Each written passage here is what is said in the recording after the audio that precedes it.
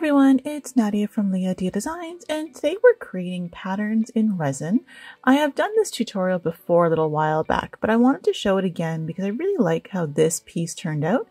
And um, so as you can see, I'm actually working on a wooden board. It's like a canvas board and it's 16 inches in diameter.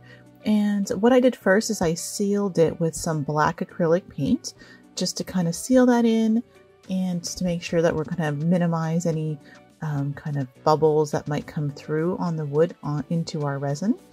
And then I once that was fully dry, I then uh, propped it up on some little canisters so that this board was not sitting directly on my table.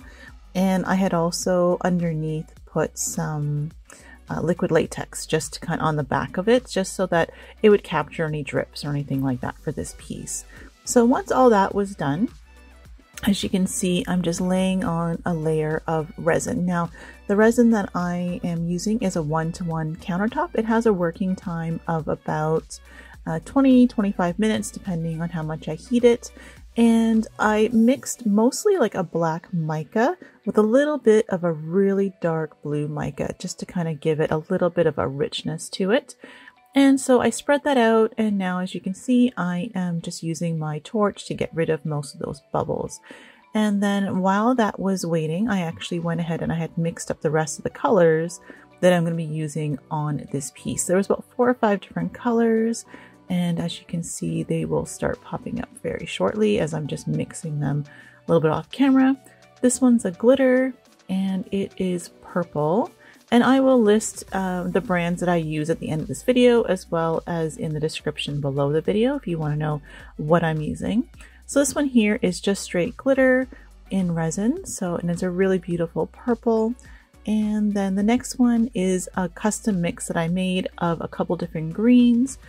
And uh, as you can see, I'm using, I put more of the glitter and a little bit less of the green just because I'm trying to create, you know, kind of adjust the proportions of how much of each color I want showing in my pattern. So, and then I created again a custom blue that I am just kind of laying in here. And again, I didn't want as much of the blue, but obviously as we lay these on top of each other, there will be, um, you know, some will take over the others and that's okay because this is going to get, um, the pattern is going to look really cool with all these different colors in it. So, and lastly, I have kind of a plum color. And this one was a uh, pigment paste. The rest were all mica powders and glitters.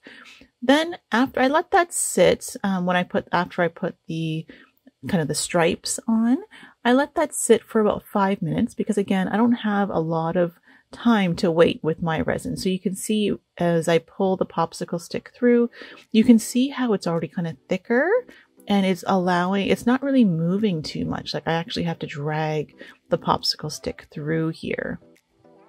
So the timing of this will depend on your resin.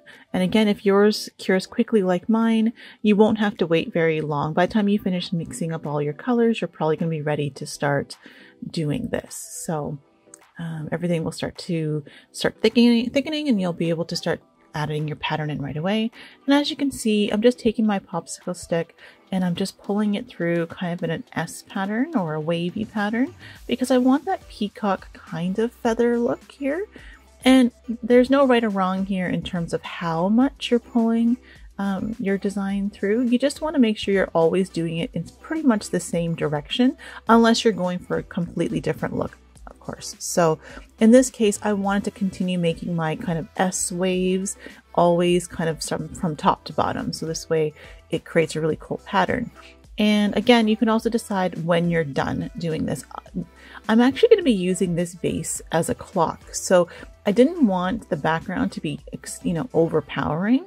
So that's why I'm doing a quite a bit more blending here than maybe if you were trying to create just a finished piece that was maybe going to just hang on the wall. You might not need to go through this as often or as much as I'm doing it, but I did want to kind of have this blend a little bit more than I would typically want to, just because again, I don't want it to be overpowering for the design that I'm going to be painting on here. So anyways, you can see just about done. And once I'm done here, that's it. I just have to let it cure. And here's a quick video of it um, right after I had finished um, adding the design. And then I also have a little clip coming up of what it looks like after it was fully cured. And you'll see that here. Here we go. And you can see that all the, you know, the details of those patterns are still in there even after curing. So it's just a matter of getting that timing right. Anyways, guys, I hope you liked this video and don't forget to come back because I will be continuing this clock and adding some hand-painted designs to it. You're not going to want to miss it. It's going to be really cool. All right, I'll see you in the next one. Bye.